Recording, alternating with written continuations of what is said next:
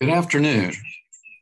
I'm Jim Duff, the Executive Director of the Supreme Court Historical Society, and delighted to be with you this afternoon. It's my honor to welcome you to the Society's virtual lecture platform today. While the Supreme Court building remains closed to the public, the Society has pivoted to a series of lectures and discussions over Zoom. We're delighted you've joined us in that capacity today. We look forward to a return to in-person uh, programming when we're able to do so, when the court reopens to the public. But we also plan to continue these virtual lectures as well. It's been a, a great uh, bright light uh, during the pandemic to be able to connect to our uh, uh, members uh, through these programs who might not otherwise travel to Washington, D.C. to join us. So it's a one of the uh, benefits I think that came out of the pandemic is that uh, we learned a lot, and we're going to continue uh, programs in this uh, forum. Today's program is a conversation with Professors Martha Jones and David Gellman on the Jay family, slavery, abolition, and an enslaved woman named Abigail.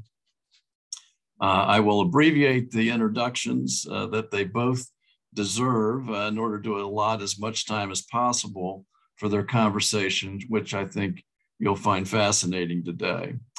Professor Martha Jones is a Society of Black Alumni Presidential Professor, uh, Professor of History, and a professor at the SNF Agora Institute at the Johns Hopkins University.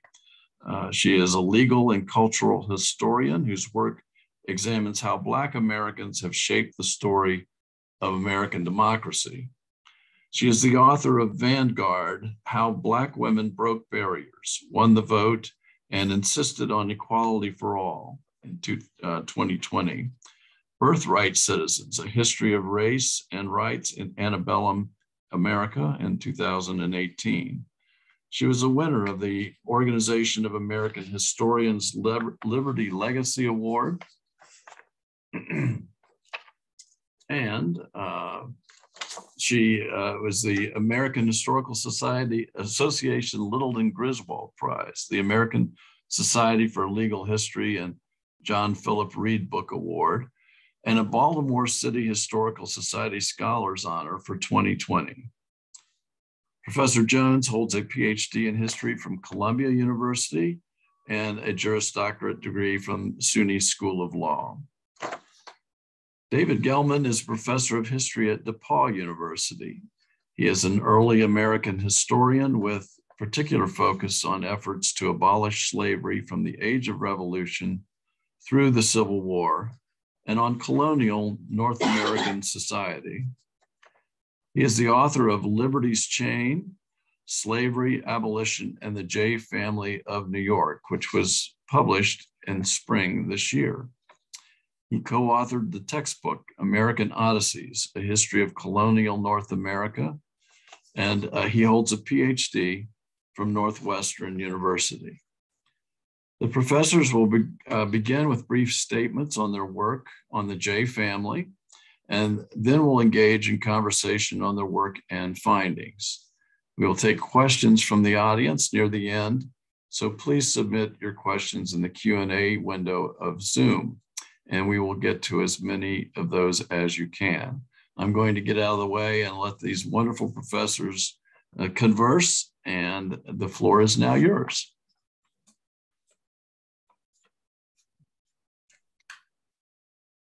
I don't think we decided who was going to speak first. So, David, I don't know what you think, but I'm happy to be here with you in any case. Yes, me too. Um, but by all means, if you want to go first, that's great. Okay. Well, um, well, thank you. Um, and it really is um, an honor to be with you. Um, it's so exciting to me that, um, unbeknownst to either of us, we were thinking um, about some of the same material, um, some of the same historical figures, and um, I'm so grateful to the Supreme Court Historical Society for um, hosting us um, and uh, giving us a chance to talk together. Um, I'm here today to introduce an essay uh, that I published uh, last spring um, in a collaboration between uh, the New York Times travel section um, and its narrative projects, um, an essay about a woman whom we know by one name, um, as I say in the piece, Abigail is someone I had been, whose trail I had been following for a long time when the chance to write about her came up. Um, I knew that she had been enslaved by the Jay family in New York. She had followed the family to Europe, um, and that she died in Paris after attempting to leave the Jay household. Um, Mrs. Jay um, had had Abigail detained in a local jail, uh, La Petite Force, where um, Abigail took ill. Um, she was released to the Jay household, but never regained her health and perished there in Paris. Um, for some Americans, of course, um, this was an especially auspicious moment in Paris.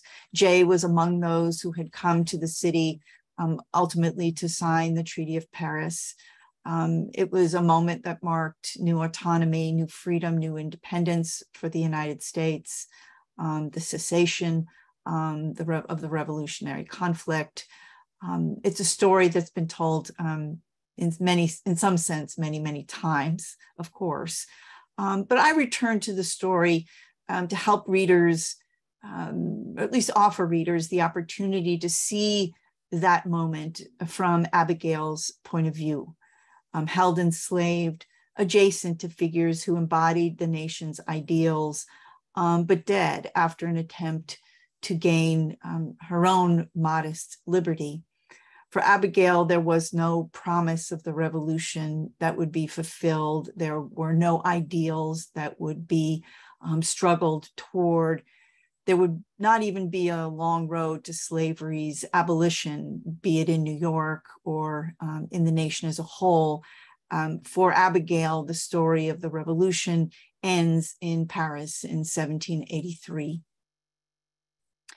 my research uh, included digging really for any shard that might give us more insight into Abigail, her experience, or how she felt.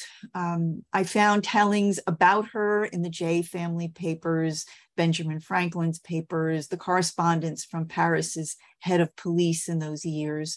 People wrote about her. Um, I suspect they talked about her as well.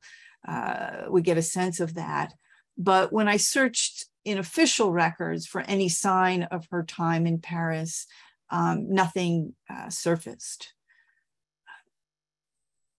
In that absence, uh, my questions really turned to ones about memory, um, questions about why some are remembered and memorialized, some figures are visible on the public landscape and others are not. Um, I asked in particular why Paris, um, a city where I live some of the time, is a city that remembers quite emphatically um, American founders, including Jay. Um, it is a city that uh, quite passionately remembers Black Americans like James Baldwin and Josephine Baker. Um, and it is, is a city that even pays homage uh, to the enslaved people of the French Empire. Um, those are people who today are credited um, by the state as um, having, through their own struggles, um, defined France's ideals of liberty, equality, and fraternity.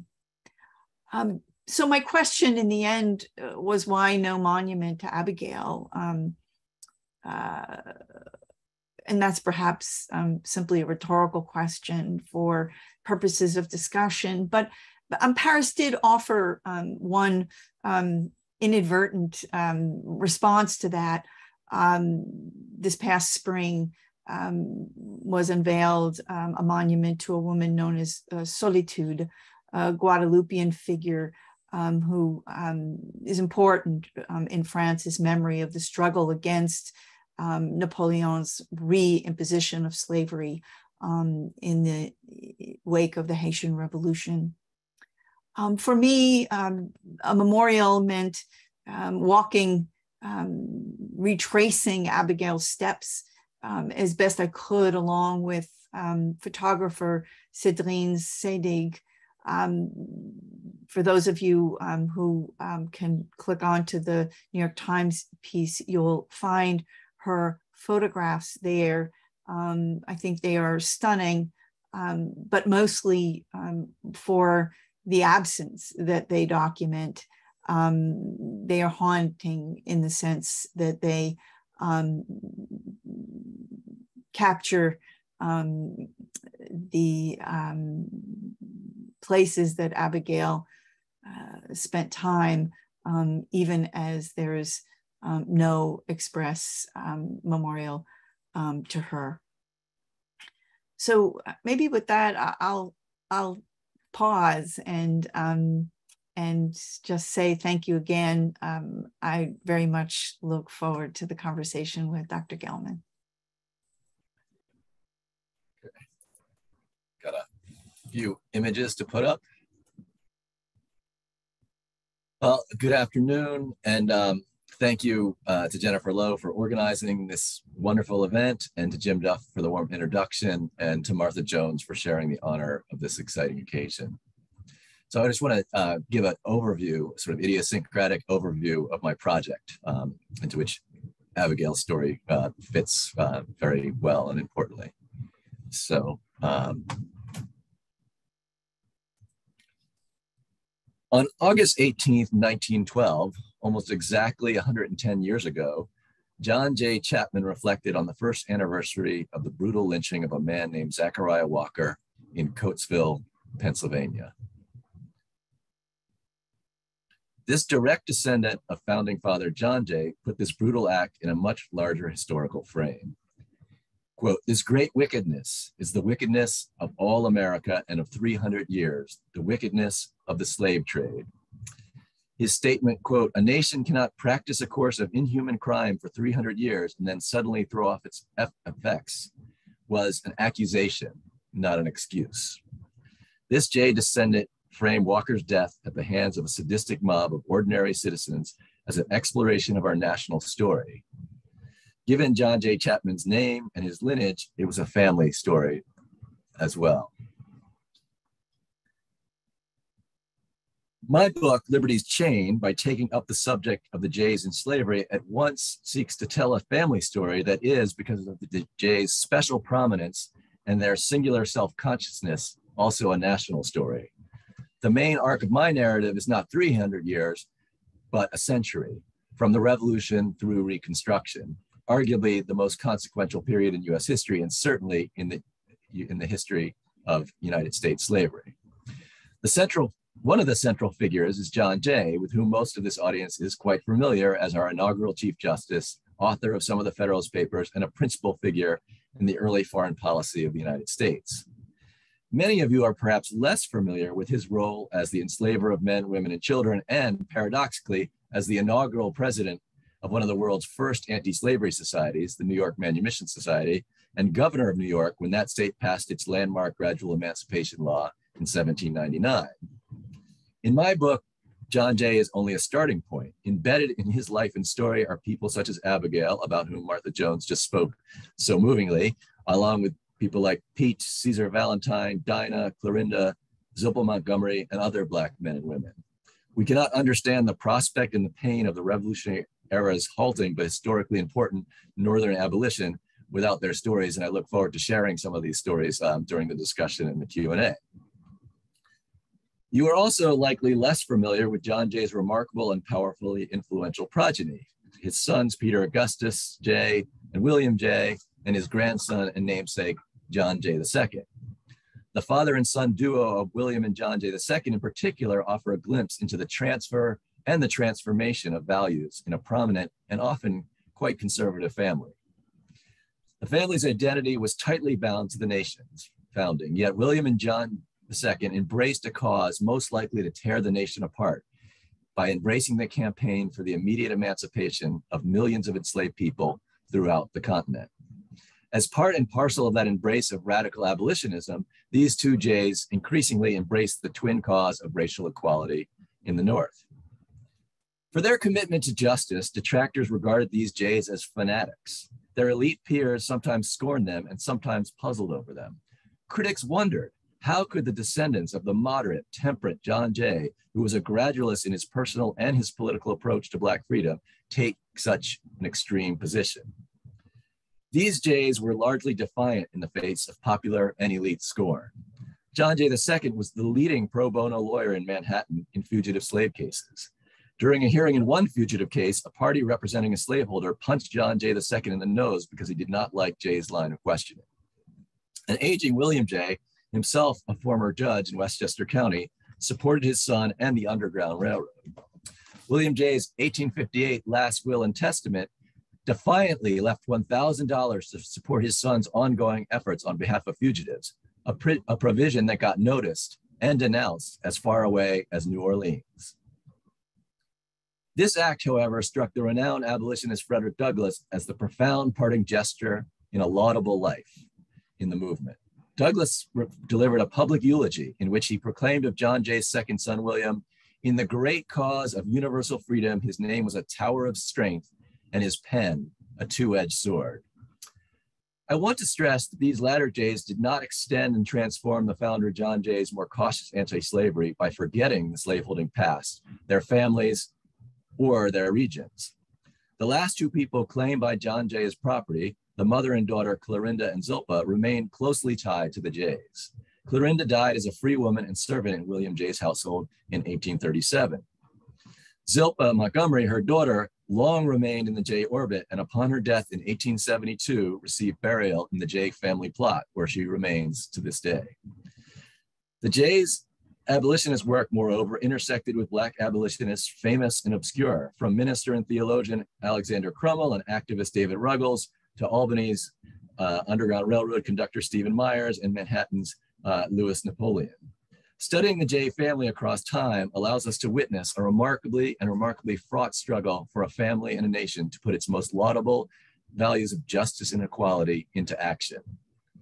The Supreme, uh, and I, as I hope we'll address during the coming conversation, the law in general and the Supreme Court in particular play a recurring role in my story.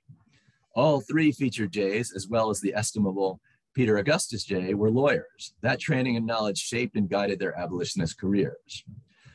John Jay's years as Chief Justice are some of the most revealing of his life for understanding the contradictions of his approach, approach public and private, to slavery. William Jay played a key role in efforts to free the Africans at the center of the famed Amistad case. And at the end of his life, William Jay recoiled at the Dred Scott decision, leading him to draw stark and compelling contrasts between Chief Justices Jay and Taney on the issues of slavery. During the Civil War, John Jay II worried deeply that an aging Chief Justice Taney might seize one last opportunity to subvert the cause of Black freedom. In sum, as John Jay Chapman insisted in his 1912 meditation on the Coatesville lynching of Zachariah Walker, the long view, the multi-generational view, has much to teach us about the history of enslavement, racism, and the struggles to forge an alternative legacy. Let me stop sharing. Uh, and with that, I very much look forward uh, to the conversation that uh, Professor Jones and I are going to have, and then the, the two of us will have with all of you.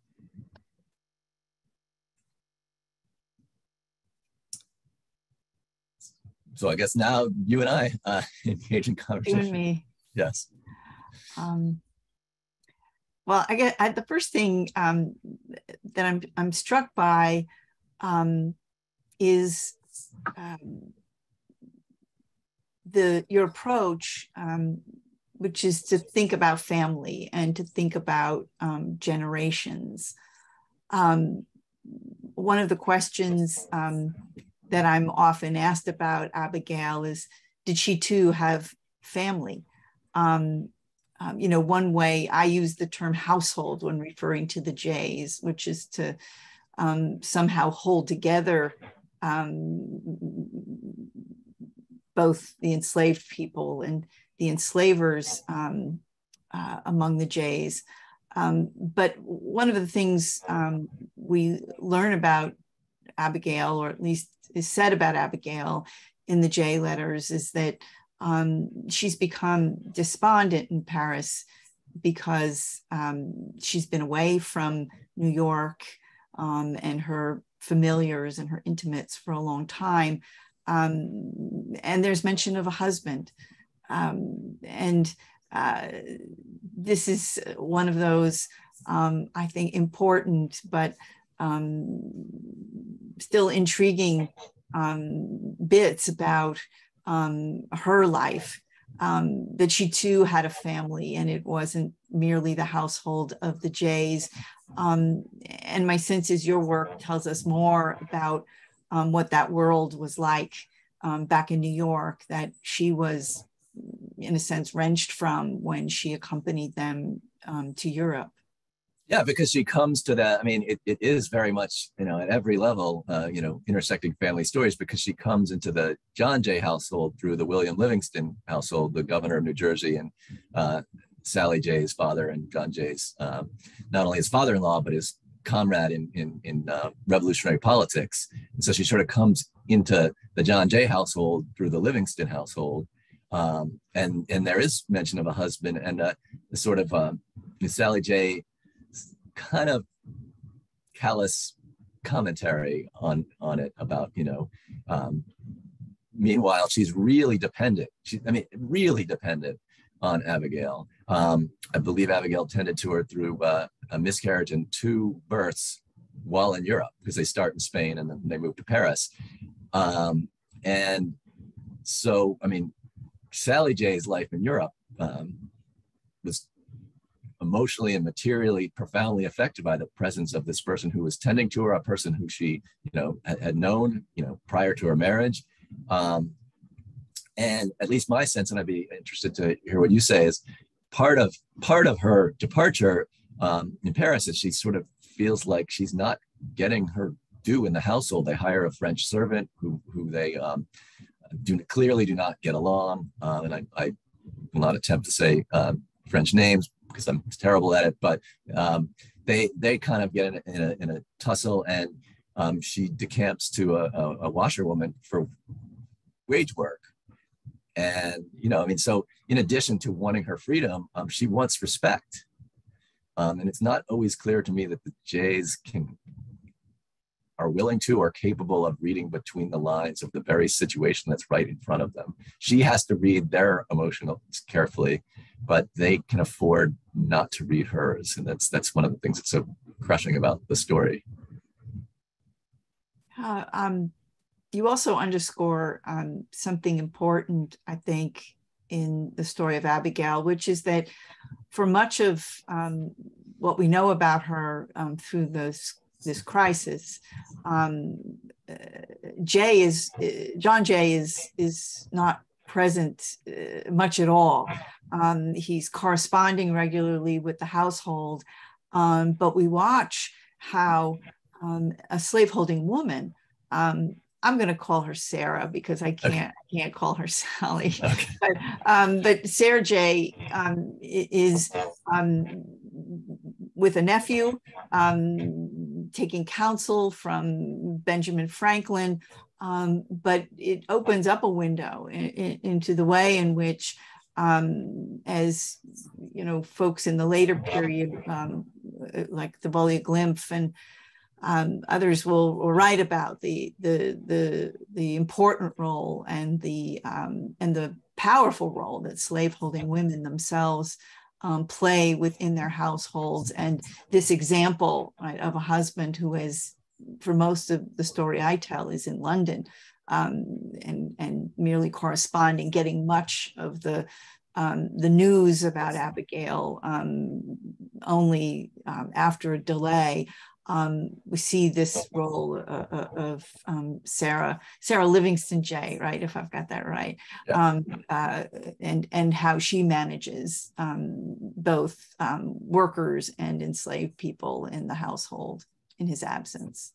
And, and I feel like one of the, and it's not, I don't want to make this sound like blame shifting, but one of the things that's really, really shocking is it's Benjamin Franklin's knowledge uh, and connections um, that sort of are what gets her um, thrown in jail. I mean, he's the one who understand who has connections to specific people and understands um, how to exercise influence. He's the celebrity. Um, but what's also, you know, and, and, so I think Franklin plays a, just a, a really deeply troubling role in all this. but it's also worth noting that it's her very presence in France um, is probably illegal by French law. I mean, the, the sort of ways in which France tried to sort of um, uh, quarantine itself from its own um, New World slavery and, and slave owners who want to, would travel back with their enslaved servants. I mean, there's, there's these laws that sort of suggest that they should be confined um, to port until they're ready to go back to the Caribbean.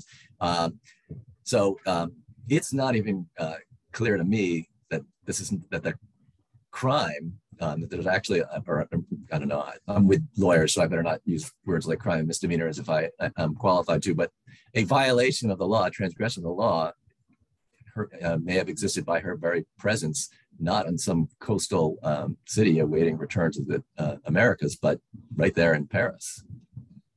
Yeah, it's such an important point, and I'll mention to folks that um, the very um, illuminating work um, that uh, historian uh, Miranda Spieler is currently doing on um, the presence, the circumstances, and how um, the many, many enslaved people of African descent in Paris, um, how they are, um, how they are regarded in this very period. So we will, I think, soon have a, a deeper context.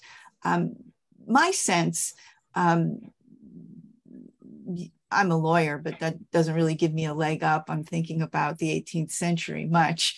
Um, but my sense is that um, Abigail is detained um, in all likelihood by a, an instrument called a lettre de cachet, which is really um, a, a, an instrument by which um, all sorts of um, dependents who are um, acting up, acting out, acting out of step with the expectations of the head of a household, um, can be de- detained in Paris during this period.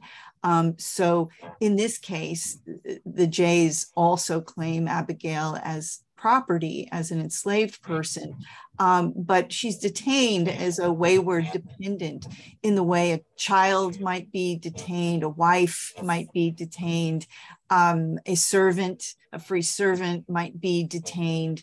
And so um, we never get to um, this thorny question of how and under what, by what terms um, Paris is um, detaining, um, returning, or otherwise um, grappling with the presence of enslaved people in the city. I think this this avenue that um, is recommended to Sarah Jay and that she takes um, sort of sidesteps um, the problem of um, whether or not Abigail can be um, treated in, by French law as property, um, she absolutely can be treated as a dependent um, in this period. And, and, one of the things that, uh, you know, the aftermath um, is really fascinating. The immediate aftermath is really fascinating because um, you also see, and one of the things that I, that um, sticks with me at the story is whether and what lessons the Jays, Sarah and John, and also uh, really importantly, Peter Jay Munro becomes an important abolitionist figure and lawyer in New York in his own right, but as a teenager at the time. Um, what insight do they gain or fail to gain uh, from this uh, this very harrowing experience? Um, and I'll, I'll, give a couple of brief examples. I mean, John Jay, writing from London, where he's basically off on vacation while um, well, his wife and household tend to these young children. He's written, he's signed the treaty. It's time for him to get some R and R, and the household goes on, which also tells you a lot about patriarchy. Um, but he um, he says, I don't understand what she was thinking. I told her I would free her when we return uh, to the United States. We have obviously no way of knowing whether he told her a. I mean, he says he did, um, and b whether uh, Abigail believed him, trusted him. Um, but for him, um, rather than he, doesn't ask psychological questions, he puzzles. Uh, and, you see this again and again in, in John Jay's life, where, where oftentimes he's sort of willfully incapable of entering into the emotional space of particularly black females. Um, where he uh, where he's and, and, other Jays as well, where they're confused as to what is motivating people when uh, a little bit of um, uh, empathy they might understand. But he does say this. Um, and the other thing uh, I find really revealing is um, the servants, white and black, in the Jay household think the house is haunted after in the wake of Abigail's death. Uh, and this is remarked on, I think, in a letter by Peter Jay Munro. Um, and to me, right, this is a this is this is the people at the bottom, the people without power, saying something wrong happened here. But the white jays can't hear it. They actually, it reported by Peter Jay Munro that they, that they sort of laughed that the servants thought the house was haunted. So they can't hear um, when it's a injustice that's being communicated um, to them through this language of haunting. Um, and so, what again, just to sort of finish up with this part of it is, so one of the things I've asked myself, uh, and in, in, the rest of the book, uh, is to think about like, what lessons did they learn and how did they apply them, and what list lessons did they fail to learn and fail to apply, and therein hangs uh, a lot of stories. I, I really appreciate um, your framing uh, of the lessons um, because I've wondered about that too. Um, you know, Abigail's uh, story um, unfolds um, before um, I think the better known enslaved American young woman, um, Sally Hemings, arrives in Paris with Jefferson. and I always wondered, in a way that we can't know, um, how subsequently enslaved people who came to Paris from the U.S. Um, did they hear? Right, did they learn about Abigail's uh, fate? Um, did they learn her story? Um, and what lessons did they um, draw from that? Um, you know. Uh, Annette Gordon Reed has, of course, written so um, importantly um, on this. Um, and there's no evidence, I don't think, um, as there wouldn't likely be um, if word traveled informally about um, what had befell Abigail. but for me, it helps us understand why in the absence of evidence, um, someone like Sally Hemings um, would not be eager um, to light out onto the streets of Paris um, and to try um, her hand at liberty. Um, that that is not an easy and evident undertaking at all. it is a profoundly risky one, and that I think is one of the um, lessons um, that might have been taken from Abigail's experience. So, so one thing, and I'm really glad you uh, mentioned that because one thing we do know uh, is, you know, that shortly after this horrible episode, John Jay um, produces a manumission document, writes a manumission document for um, a, an enslaved uh, person named uh, Benoit, who was acquired in Martinique on their on the Jay's voyage over to France. And um, before leaving France, John Jay writes a manumission document in which he explicitly refers to slavery as a violation of natural rights, natural law, as a sort of preface, his preamble, if you will, to saying, and um, you know, so in three years hence, once uh, he, he's worked off the, the value of his initial purchase, he will uh, become free. And I mean, this is one of the things that, um, you know, happens again and again, particularly in the John Jay part of the story is um, he's acknowledged actually as, as, early as 1780, really as early as 1777, he started to acknowledge that slavery is wrong. Um, and in explicitly enlightenment natural rights language, um, in 1780, he writes from Europe that uh, New York should follow Pennsylvania's lead and pass a gradual emancipation law. And until they do, their prayers for liberty will be impious, right? Uh, so he has this language. He's helped to draft a treaty that demands the British um, pay for, uh, or tells the British they cannot depart with any uh, black people who, have, uh, who are within their lines uh, and that leads to years of diplomatic wrangling. Um, so he, it'd be interesting. It'd be hard to get at, but um, right there's always a negotiation. It's a, always an uneven negotiation, but um, it would be wonderful if we knew more how the manumission document um, that John Jay produced uh, to liberate uh, Benoit, um, how explicit or implicit was that negotiation? Because we know that uh, that Benoit was one of the people up who, upstairs in the attic who felt the house was haunted. Um, so how that um, negotiation goes is again one of those uh, questions that we would be wonderful to get at. But we do know um, that it does produce this document, which is not simply a I am going to grant freedom to this person because they're loyal, but I'm going to grant freedom to this person because it is philosophically necessary.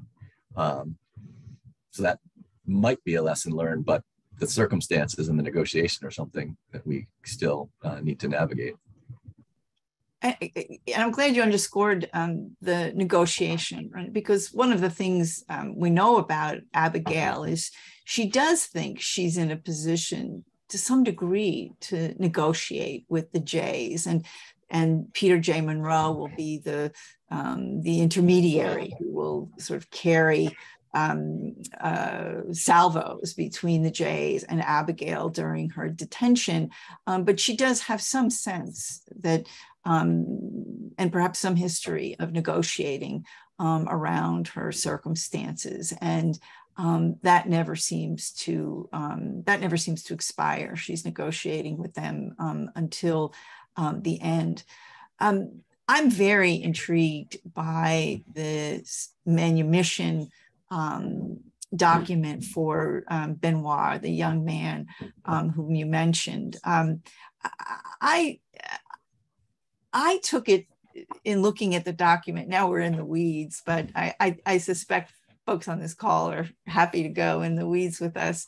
Um, but I took it to be a draft of a, a manumission document. And I wondered uh, a little bit like with Abigail, um, whether um, searching the official record would turn up any confirmation that in fact um, this manumission document was actually finalized and um, given over to the young man you know was it ever was it an idea that never was seen through or or um, was it seen through um, so, that, so that's a question for you if you know anything about that. Um, and the other thing you know a lot about, because uh, of course we've we've all learned this from you in your work, is you know um, the mistake we sometimes make when we um, uh, uh, encounter, particularly in the 18th century, um, figures um, like Jay who are anti-slavery. We we equate that with um, abolitionists and radical, the radical abolition um, posture um, that becomes very, very visible by the 1830s and is, um, you know, um, popularized and uh, by the um, American Anti-Slavery Society. Jay's not a radical abolitionist in this sense, somebody who's looking to affect the immediate and unqualified end of slavery. Um, that's going to come later if I understand sort of the arc of your story. Right. Yeah. But I mean, I, the, the first, people are calling it uh, first wave or first movement um, abolitionism. People like Manisha Sinha and Paul Polgar are doing fantastic work on this. Um, I mean, there is no radical movement, you know, until there's a radical movement, but um, it's that the, the first wave of abolitionism is of great consequence um, it's very alien to our own sense of how um, change should and does occur, but it does uh, over time uh, produce tremendous change. Um, and another thing that John Jay does is he um, lets himself be kind of drafted into becoming the inaugural president of the New York Manumission Society, which really is one of the first, it's not the first, but one of the first um, organized anti-slavery societies in the in the Western world, and they're corresponding with all the British and French um, people that abolitionists and abolitionist historians know, and um, and uh, and they explicitly used language of citizenship. They use language of uh, natural rights, but um, they believe uh, self-servingly for certain. But nonetheless, they you know they they have this notion that you can you can achieve profound change gradually, um, and that there's a formula you, can follow. And John Jay, um, in both his personal uh, conduct uh, uh, and in his political stances, um, he believes in this formula. So, I mean, he even applies it um, to this, this woman, Zilpa, who I've referred to a couple of times, who's buried in the Jay family plot. He applies the logic of gradual emancipation to her, even though the law, because of the date of her birth, doesn't apply. So he apply, you know, he supports the program politically, but he also applies it in his own um, process of gradually um, uh, diminishing and eventually um, um ceasing to be a slaveholder. So by the 1820 census, there are no enslaved people in the Jay household. There will be and continue to be African Americans um, who are, you know, in the case of Clorinda and Zilpa, they're formerly enslaved people, but they're also indentured servants, or it's the labor system, the labor market is particularly in the north is shifting profoundly and they shift with it. Um, so he does come back um, actually delivering in part on some of um, his stated notional principles that we really ought to figure out how to um, wind this practice down. But it there are sort of different spheres in which he's willing to act and spheres where he's willing to not act. So just briefly, like when it comes to ratification of the Constitution, um, which obviously Jay is John Jay is closely identified with. You know, that's not a, he was not at Philadelphia, but that's not a price um, he's willing to pay. He's not willing to agitate the issue of slavery or even acknowledge the issue of slavery as a reason not to ratify. So in that sphere, the national political sphere, um, already we see lines that can't be crossed. But at the state sphere, uh, in his personal life, and interestingly, diplomatically, uh, he moves um, fairly um, dramatically to essentially repudiate the treaty that he himself was uh, an architect of uh, in 1783. By 1794, he's like, we really have no right to not only claim the people, but we're really on shaky ground, demanding the British even deliver uh, financial compensation. So you see as he operates on different principles in different places, but he remains a person who uh, whose comfort um, is provided by enslaved black people who he um, is uh, comfortable acquiring and and um, and having as essential members of his household uh, until the 18 teens. Yeah, I, I know we're we're probably going to move to questions in a minute. Um, so I, I think um, I think one of the hardest things, um, and maybe I maybe was too difficult to accomplish um, in my essay about Abigail, it, it, but it really was to um, ask us to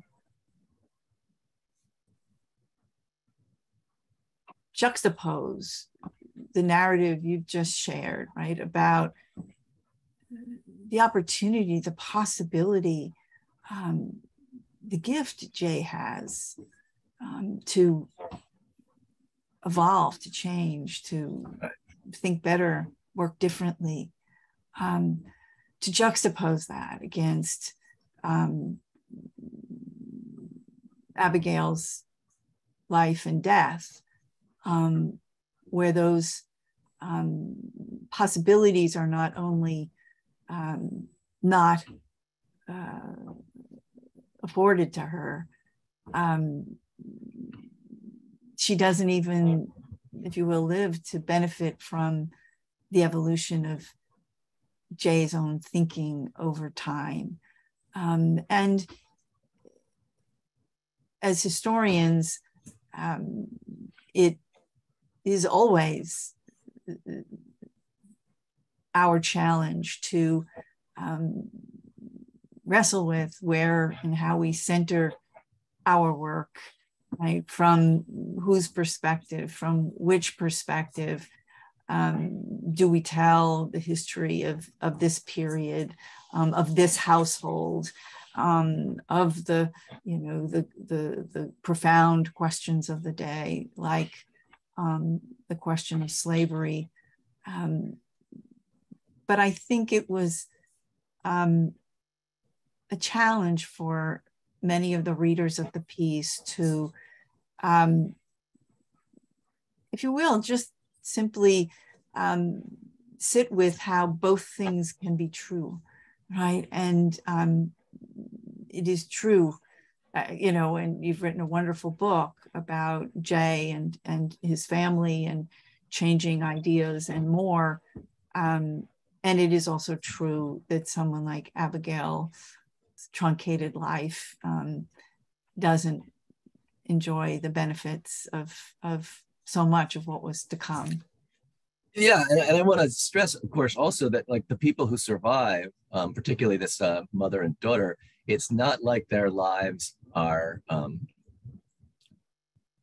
they're able to enjoy the full fruits of freedom. I mean zilpa um, never learns to read um, she's only allowed back in the Jay family because um, her she was sort of banished to a Livingston relative uh, when she uh, got pregnant, and then when the child dies, Clorinda, in a move that was so fraught because she's going to John Jay and and asks and insists, can we bring her back? I mean, can you imagine, right? Because that's all. Uh, and I'm not the only person who's, who's uh, written about Clorinda, but uh, the, imagine the courage it took and on the emotional stress and how fraught it was for her to say to a person over whom she had no, she has no power in that relationship to say, can you please bring my daughter back? And of course, the only reason the daughter can come back is because of this personal tragedy that the that her um, infant or by this point toddler has passed away. And then Zilpa is back in in the orbit of the family. Um, in the last census she appears on is um, is 1850, but she's clearly in the Westchester orbit of the Jays, and and and um, William Jay's uh, request that she have a plot place in the plot of the family burial ground is is honored in 1872. Um, but these are isolated like lives, right? And is to state the obvious but important thing, um, the 15th Amendment doesn't apply to Zilpa either. She's alive when the 15th Amendment, you know, goes into effect, but you know, she's a she's a woman. So I mean, so the isolation and the sort of limits to what freedom um, in the North, even for those who are fortunate enough to live to um, experience these changes, and they are important. It does matter whether you're an enslaved person or or you know receiving wages.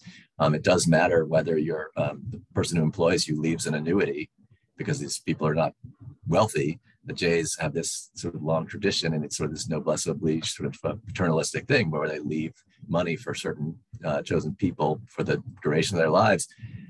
It's, it's makes the Jays feel good. It also speaks to the isolation of even people who are um, well situated and who do live long lives, like Caesar Valentine, who um, works in Peter Augustus Jay's home for many years. Um, but but isolated, hard to find. Uh, I could never, I could not find Caesar Valentine in the census. I hope there's a historian out there who's better with census records than I or can get into the local archives. But um, we know people are alive, but, but tracing their lives um, sort of underscores that sense of isolation. Well, um, I, hate to interrupt the uh, conversation because it's fascinating, uh, but we do want to uh, get to some of uh, the questions from the audience. And now, um, just before I get to some of those, I, I uh, just was curious, uh, David, you were you know, talking about the family, the Jay family graveyard. Where is that, by the way? So that's at St. Matthew's Church, which is an Episcopal church that the Jays founded in Westchester in the in, Katonah, Bedford. I'm never quite sure where the line between Bedford and Katonah is, and they one comes out of the other, but it's uh, in you know, northern Westchester County, and it and you can visit it and see many of the Jays. John Jay is actually buried in Rye, which is oh. um, a different a different Jay family estate, but many of the other Jays are buried, and and I finally got to see in person. Um, I had a person take a picture of the gravestone for my book. But finally, um, in April, I got to uh, see it in person, and um, that was really, uh, it, as as Martha has suggested, right? These are powerful things for authors. We write about, we read about people, um, but when we are fortunate enough to encounter um, this sort of tangible, um, their tangible presence, it's it's a it's a really powerful thing. Yes. Uh, the living is it the Livingston family? Their New Orleans roots there too. I mean, Bob Livingston, I think, is a descendant of that that line. Some of the Livingstons do go out to Louisiana, but they are as um, deeply entrenched in New York. Patroon, no. massive land holding, uh, shocking amounts of land was owned by a, a handful of uh, these families. The Dutch and then the British um, created these, these huge holdings, and so the Livingston family, even even in the 18th century, was a vast and complicated set of uh, family trees. Uh, but yeah. yeah, some of them do make it to Louisiana. Yeah. Um, I'm going to ask one more question and then get, get to the audience. But when did uh, Jay become uh, president of the New York Manumission Society? Was that uh, what, Se- what year?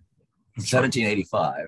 85. Um, yeah. And then he, interestingly, resigns when he becomes Chief Justice. That's what that I, was my next question. Which I always found really intriguing because it implies um, that he thinks there could be a case that would pose a conflict of interest. Uh, that's the positive reading. The negative reading is he doesn't stop being uh, an enslaver. So if you know if a case arose, he would still be an enslaver, but he'd no longer be the president of this uh, society. That's but he pays a political price for it when he runs for governor in 1792. I kid you not. Um, the people running against him basically say this guy's going to take uh, your enslaved people away. He, you know, mm-hmm. the, the Dutch slaveholders in the Hudson Valley shouldn't trust this guy because he's this elite New Yorker who's going to take away um, your human property.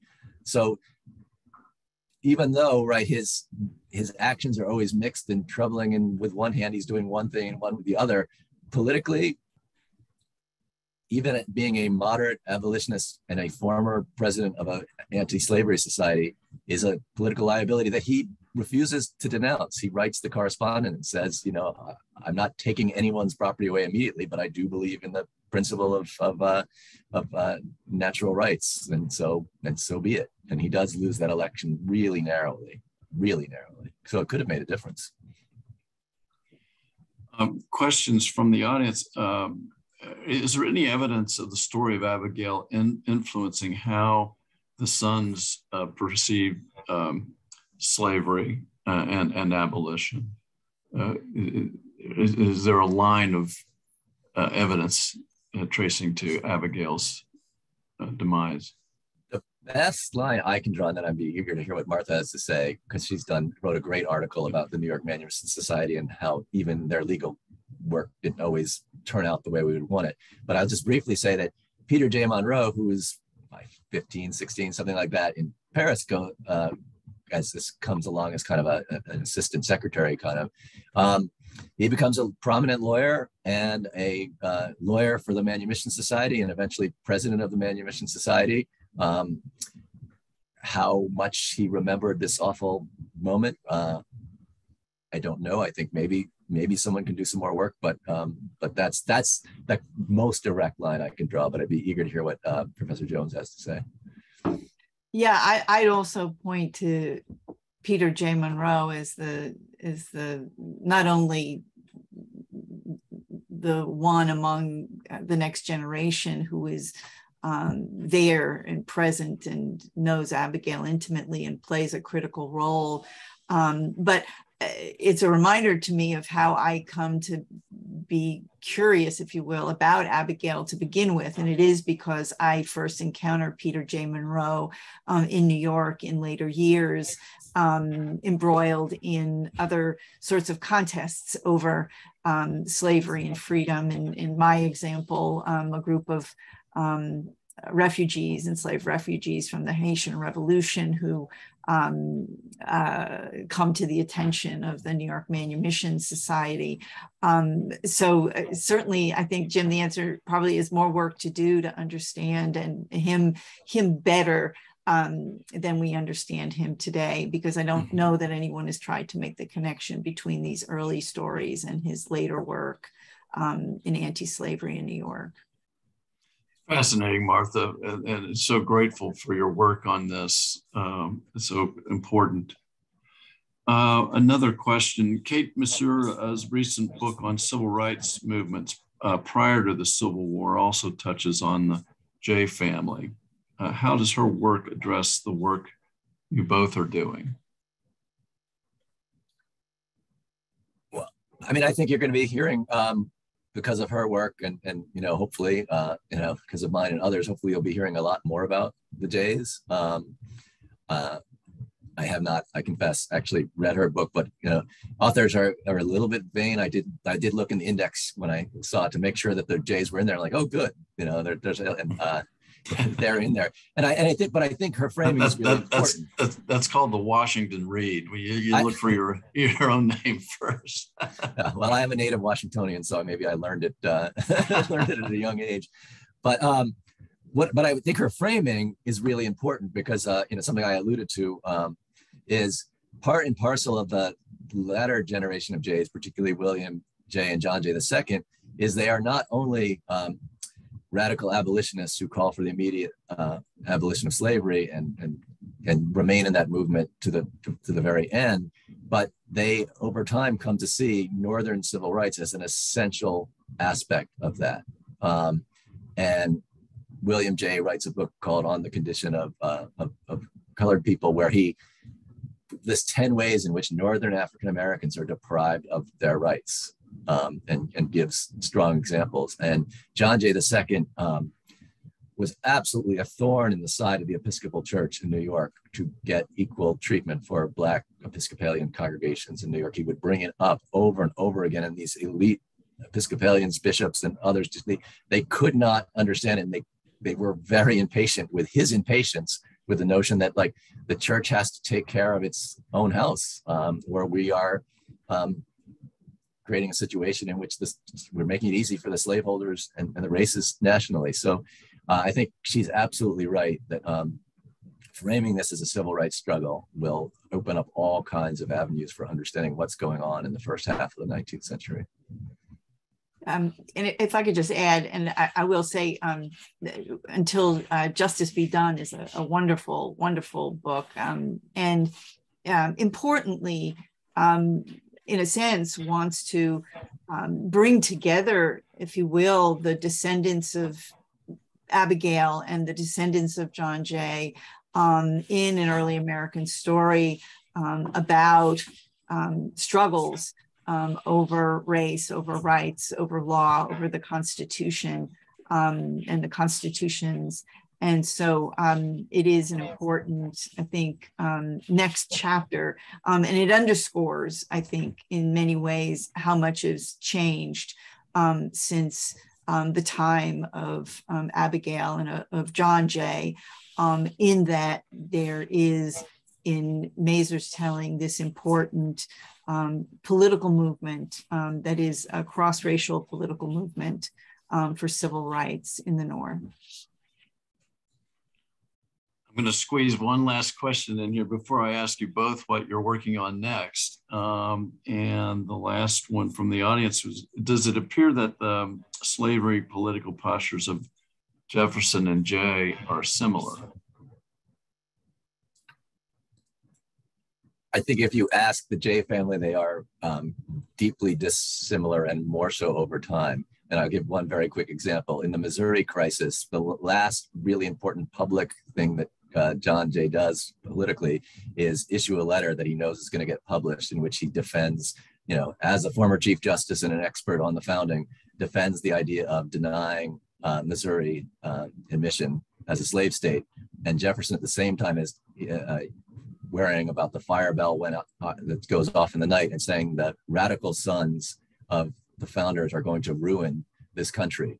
So um, there, there's a deep split over time um, mm-hmm. in how they understand the legacy of the founding.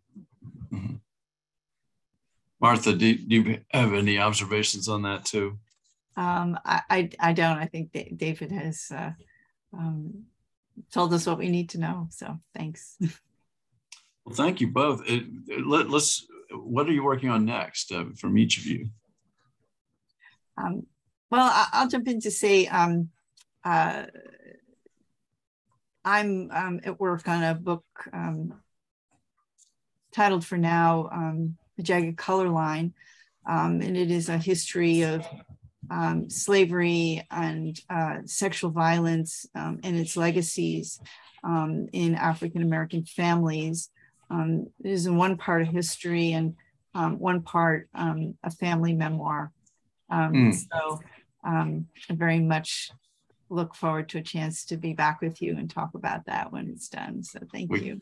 We can't wait for that. That's great. David, how about you?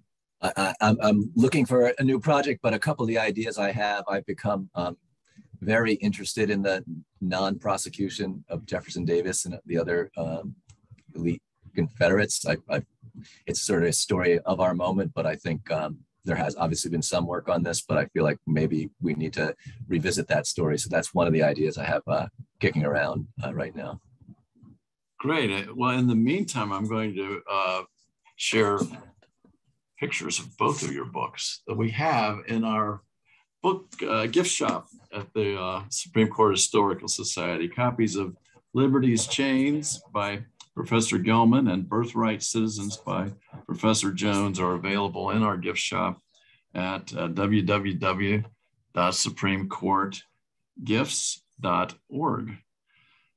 And uh, we're very grateful for your conversation today. I'm so glad we were a, a bit of matchmakers here, uh, getting the two of you together to uh, uh, converse and uh, fascinating for us. I hope uh, enjoyable for you too. And uh, we look forward to more of your work. Our next virtual program is the Society's Constitution Day celebration on September 21st at noon. We're going to have a special screening of the Society's latest documentary. This one is on Marbury versus Madison, and it's going to be held along with a look at the lesson plans that we've designed to accompany it. Uh, registration is available at the Society's website, www.supremecourthistory.org. And uh, I want to uh, close by uh, saying a reminder will be sent to you that a, a survey will go out uh, later this afternoon. And uh, those of you who've joined us in the past will remember this, but uh, everyone who's registered in advance will be sent the survey, and we ask you please respond to it. Uh, we want to make these programs as accessible and valuable to as many people as possible. We thank you all for joining us, and uh, a special thanks to Professor Jones and Professor Gellman today. And uh, with that, we are adjourned.